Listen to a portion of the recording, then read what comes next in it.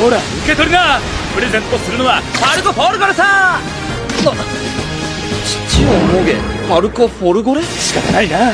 踊ってあげるよ。パルコ・フォルゴ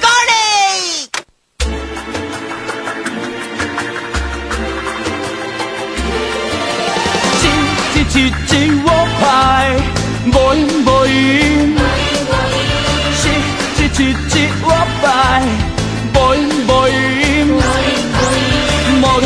もげもげ。